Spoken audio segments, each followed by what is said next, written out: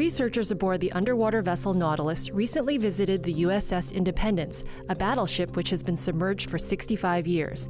The Independence was used as a target in the Bikini Atoll atomic tests before the US Navy sank it off the California coast. Now that the shipwreck is no longer radioactive, scientists are studying how the site has become reclaimed by different kinds of marine life. Don't miss D Daily Bite, weekdays at noon.